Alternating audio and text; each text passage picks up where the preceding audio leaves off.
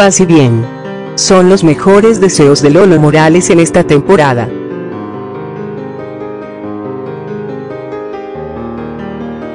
Este es un mensaje de aliento y de esperanza en tiempos difíciles. Lolo Morales saluda y valora el esfuerzo de todos sus clientes y amigos en los Estados Unidos, que luchan duro para sobrevivir y ayudar a sus seres queridos en Nicaragua. Desde hace décadas Lolo Morales viene sirviendo a la comunidad nicaragüense en el exterior.